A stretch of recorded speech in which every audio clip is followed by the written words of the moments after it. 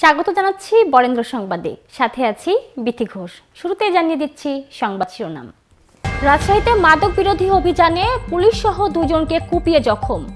রাজশাহীতে চলমান বিধিনিষেধ প্রত্যাহার করে গণবিজ্ঞপ্তি প্রকাশ। টিকিটে অনিয়ম ধরতে রাজশাহী রেলওয়ে স্টেশনে দুদকের অভিযান।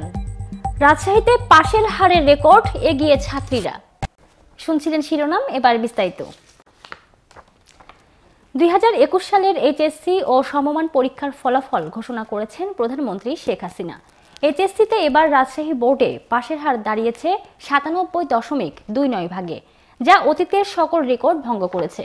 এবারে পাশের হার এবং জিপিএ দুইভাবে ছাত্রদের পেছনে ফেলে এগিয়ে গেছেন ছাত্রীরা। রবিবার সকাল সাড়ে এগারোটার দিকে গণভবন থেকে ভার্চুয়ালি সংযুক্ত হয়ে ফলাফল ঘোষণা করেন প্রধানমন্ত্রী। রাজশাহীতে এবার জিপিএ ফাইভ পেয়েছে বত্রিশ হাজার আটশো জন। ছাত্রীদের মধ্যে জিপিএ ফাইভ পেয়েছেন আঠারো হাজার চারশো জন। আর ছাত্রদের মধ্যে জিপিএ ফাইভ পেয়েছেন চোদ্দ হাজার চারশো জন। ছাত্রদের মধ্যে পাশের হার ছিয়ানব্বই দশমিক পাঁচ এক শতাংশ। ছাত্রীদের পাশের হার আটানব্বই দশমিক পাঁচ এক শতাংশ। যদি করোনার এই ছুটিটা না আসতো, তাহলে মনের মধ্যে একটা কনফিডেন্স ছিল যে হ্যাঁ পড়ছে একটা শ্রেষ্ঠ বিদ্যাপীঠে, এবার নেক্সট যেখানে যাব সেটাও শ্রেষ্ঠই হবে। কিন্তু এই করোনা ছুটি এসে যদিও স্যাররা অনলাইনে অনেক ক্লাস করছে, কিন্তু আমরা যে ফাঁকিবাজি স্টুডেন্ট আমরা তো অনলাইনে কোনো ক্লাস করি না তো সেই হিসাবে একটু মনের মধ্যে ভয় আছে যে আদৌ ভালো হবে কি হবে না। কিন্তু সবার দোয়া আর আমাদের নিজেদের চেষ্টা আশা করা যায় ভালো কিছুই হবে। আসলে তিন বছর ধরে আমরা অনেক টানাপোড়েনের মধ্যে দিয়ে গেছি। কারণ হচ্ছে প্রথমে আমাদের সিলেবাস শেষ হয়েছিল না, আমরা অনেক দুশ্চিন্তা করেছি যে কি হবে, না হবে পরীক্ষা নিয়ে। কিন্তু আলহামদুলিল্লাহ যে হচ্ছে সব শেষে আমাদের একটা ভালো ফল এসেছে। এবং এজন্য আমরা সৃষ্টিকর্তার কাছে অবশ্যই কৃতজ্ঞ। আমাদের শিক্ষক, আমাদের পিতামাতা, আমাদের যারা সাহায্য করছে সবার প্রতি অনেক কৃতজ্ঞ। আজ দুপুর বারোটায় রাজশাহী শিক্ষা বোর্ড থেকে এ ফল ঘোষণা করা হয়েছে। এবার মোট পরীক্ষার্থী ছিল এক লাখ পঞ্চাশ হাজার সাতশো পঁয়তাল্লিশ জন। এর মধ্যে ছাত্র উনআশি হাজার পাঁচশো সতেরো এবং ছাত্রী একাত্তর হাজার দুইশো আঠাশ জন। নিয়মিত পরীক্ষার্থী ছিল এক লাখ উনচল্লিশ হাজার পাঁচশো উননব্বই জন। এবার রাজশাহী শিক্ষা বোর্ডের অধীনে আট জেলার সাতশো একষট্টিটি কলেজ থেকে এ সকল শিক্ষার্থী এইচএসসি পরীক্ষায় অংশ নেয়। মোট দুইশোটি কেন্দ্রে এ পরীক্ষা অনুষ্ঠিত হয়। আসলে যে বাচ্চারা পরীক্ষা দিয়েছিল এইচএসসির, এই বাচ্চারা তো খুবই ট্যালেন্ট আর এই এইবারে সিলেবাস কিন্তু সংক্ষিপ্ত করা হয়েছে। যদিও করোনা অতিমারির কারণে পড়াশোনা কিন্তু সরাসরি যে পাঠদান এই বাচ্চারা কিছু সুযোগ পেয়েছিল, কিন্তু পুরোপুরি দুই বছর কিন্তু তারা শ্রেণীকক্ষে আসার সুযোগ পায় নাই। সেই ক্ষেত্রে তারাকে অনলাইন কার্যক্রমের সাথে সংযুক্ত পড়াশোনা করতে হয়েছে। তারা এই রেজাল্টটি যেহেতু সংক্ষিপ্ত সিলেবাসে এবং বিষয় কমিয়ে দেওয়া হয়েছিল এবং এটি ম্যাট্রিকের কিছু মার্কস ম্যাপিং করে এই দুটি সমন্বয়ে এই ফলাফলটি প্রকাশ করা হয়েছে।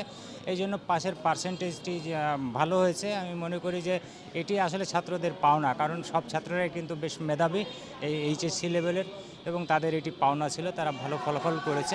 রাজশাহীতে মাদক বিরোধী অভিযান চালানোর সময় পুলিশ সহ দুজনকে কুপিয়ে জখম করা হয়েছে। রোববার দুপুর দেড়টার দিকে নগরীর মতিহার থানার ডাসমারি এলাকায় এ ঘটনা ঘটে। এ সময় আমিনুর রহমান নামের এক মাদক ব্যবসায়ীকে গ্রেফতার করেছে পুলিশ। গ্রেফতারের সময় তিনিও আহত হয়েছেন। পরে আহত তিনজনকে উদ্ধার করে রাজশাহী মেডিকেল কলেজ হাসপাতালে ভর্তি করা হয়। আহতরা হলেন মহানগর গোয়েন্দা পুলিশের কনস্টেবল আতিকুর রহমান ও গোয়েন্দা পুলিশের সোর্স নাইম এবং গ্রেফতার মাদক ব্যবসায়ী আমিনুল ইসলাম ওরফে দুখু। তাদের সবাইকে হাসপাতালের একত্রিশ নং ওয়ার্ডে ভর্তি করা হয়েছে। এদের মধ্যে কনস্টেবল আতিকুরের অবস্থা গুরুতর। তাকে অপারেশন থিয়েটারে নেওয়া হয়। মতিহার থানার ওসি আনোয়ার আলী তুহিন জানান, দুপুরে মহানগর গোয়েন্দা পুলিশের একটি দল পুলিশের সোর্স নাইমকে নিয়ে ডাসমারি এলাকায় মাদক বিরোধী অভিযান চালায়। এ সময় মাদক ব্যবসায়ী আমিনুর রহমান ও তার সহযোগীরা পুলিশের ওপরে হামলা চালায়। তারা পুলিশ কনস্টেবল আতিকুর রহমান ও সোর্স নাইমকে হাসুয়া দিয়ে কুপিয়ে জখম করে পালিয়ে যায়। পালানোর সময় অন্য পুলিশ সদস্যরা আমিনুরকে গ্রেফতার করে। এ সময় ইটের আঘাতে আমিনুর আহত হয়। পরে আহত তিনজনকে উদ্ধার করে রাজশাহী মেডিকেল কলেজ হাসপাতালে নেওয়া হয়। টিকিট অনিয়ম ধরতে রাজশাহী রেলওয়ে স্টেশনে অভিযান চালিয়েছে দুর্নীতি দমন কমিশন দুদক। হটলাইন এক শূন্য ছয়ে ট্রেনের এক যাত্রীর অভিযোগের ভিত্তিতে রোববার দুপুরে রাজশাহী রেল স্টেশনে এই অভিযান চালায় তারা। তবে অভিযানে স্টেশনের কোনো বুকিং সহকারীর কাছ থেকে কালোবাজারির উদ্দেশ্যে কেটে রাখা কোনো টিকিট পায়নি দুদক টিম। দুদকের রাজশাহী অঞ্চল কার্যালয়ের সহকারী পরিচালক আমির হোসেন জানান, তার নেতৃত্বে পাঁচ সদস্যের একটি দল স্টেশনে অভিযান পরিচালনা করে। এ সময় স্টেশনের বুকিং অফিস ও টিকিট কাউন্টারে তল্লাশি করা হয়েছে। এর পাশাপাশি টিকিট প্রিন্টের কম্পিউটার ও অন্যান্য যন্ত্রাংশ পরীক্ষা নিরীক্ষা করে দেখা হয়। এ সময় যাত্রীদের টিকিট প্রদানে নিযুক্ত বুকিং সহকারীদের দেহ তল্লাশি এবং তাদের জিজ্ঞাসাবাদ করা হয়েছে। এছাড়া স্টেশনের প্ল্যাটফর্মে থাকা টিটিদের কাছে থাকা জরুরি টিকিট বইও পরীক্ষা করে দেখা হয়। রাজশাহীতে করোনার সংক্রমণ কমতির দিকে থাকায় চলমান বিধিনিষেধ প্রত্যাহার করা হয়েছে। এখন থেকে সকল দোকান রাত আটটার পরেও খোলা রাখা যাবে। রোববার এই বিধিনিষেধ প্রত্যাহার করে রাজশাহী জেলা প্রশাসনের পক্ষ থেকে এক গণবিজ্ঞপ্তি প্রকাশ করা হয়েছে। রবিবার গণমাধ্যমে পাঠানো গণবিজ্ঞপ্তিতে উল্লেখ করা হয়েছে সারা দেশে করোনা ভাইরাস সংক্রমণ বৃদ্ধি পাওয়ায় রাজশাহী জেলায় সকল বিপণী বিতান, শপিং মল, বিনোদন কেন্দ্র, রেস্তোরাঁ সহ সকল ব্যবসা প্রতিষ্ঠান গত আঠাশে জানুয়ারি জারিকৃত বিজ্ঞপ্তির মাধ্যমে রাত আটটা থেকে সকল দোকান বন্ধ ঘোষণা করা হয়েছিল। বর্তমানে রাজশাহী জেলায় করোনা ভাইরাস সংক্রমণের হার নিম্নমুখী হওয়ায় জারিকৃত বিধিনিষেধ জারিকৃত বিধিনিষেধ সাময়িকভাবে স্থগিত করা হয়েছে। রবিবার থেকে পূর্বের মতো সকল দোকানপাট চলবে বলে রাজশাহী জেলা প্রশাসক স্বাক্ষরিত গণবিজ্ঞপ্তিতে বলা হয়েছে। রেলওয়ে পেনশন ব্যবস্থাপনা বিকেন্দ্রীকরণের দাবিতে রাজশাহীতে মানববন্ধন ও স্মারকলিপি দেওয়া হয়েছে। রবিবার সকালে রেল ভবনের সামনে সর্বস্তরের কর্মচারীরা মানববন্ধনের আয়োজন করে। মানববন্ধন শেষে নেতৃবৃন্দ, পশ্চিমাঞ্চল রেলের জেনারেল ম্যানেজার অসীম কুমার তালুকদারের কাছে একটি স্মারকলিপি প্রদান করেন।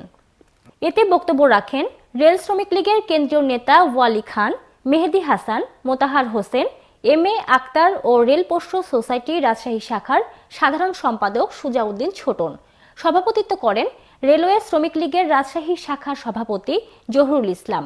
বক্তারা বলেন, রেল কর্মচারী ও কর্মকর্তাদের পেনশন ব্যবস্থাপনা চট্টগ্রামে কেন্দ্রীভূত করা হলে সারা দেশের পেনশনভোগীরা চরম দুর্গতিতে পড়বেন।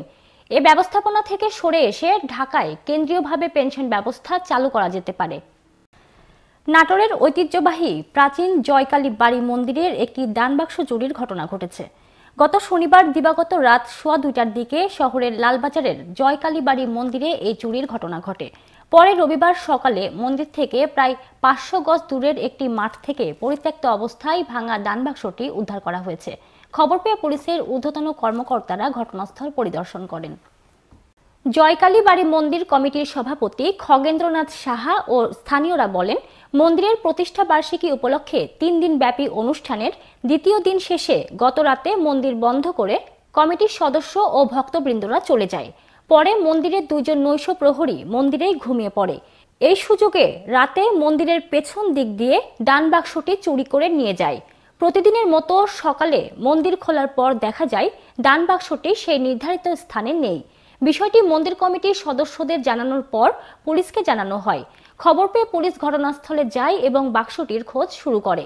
বিভিন্ন স্থানে খোঁজাখুঁজির এক পর্যায়ে স্থানীয়দের কাছে খবর পেয়ে মন্দির থেকে প্রায় পাঁচশো গজ দূরের একটি মাঠের মধ্যে থেকে পরিত্যক্ত ও ভাঙা অবস্থায় দান বাক্সটি উদ্ধার করা হয়।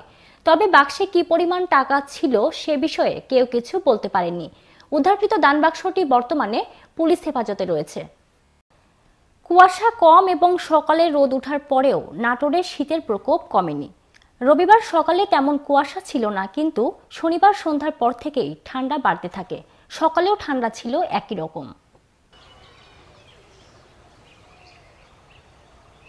শীতের কারণে দোকানপাটে বেচাকেনা কম হচ্ছে বলে জানান দোকানিরা। সকালে রাস্তায় মানুষের তেমন চলাফেরা না থাকায় রিক্সা ও অটো চালকরা বসেছিল যাত্রীর অপেক্ষায়। এই শীতে সবচেয়ে বেশি কাহিল হয়ে পড়েছে শিশু ও বৃদ্ধরা। হাসপাতালে শীতজনিত রোগে আক্রান্ত শিশু রোগীর উপস্থিতি রয়েছে পূর্বের মতোই। এ ছিল বরেন্দ্র সংবাদে। সাথে থাকার জন্য ধন্যবাদ।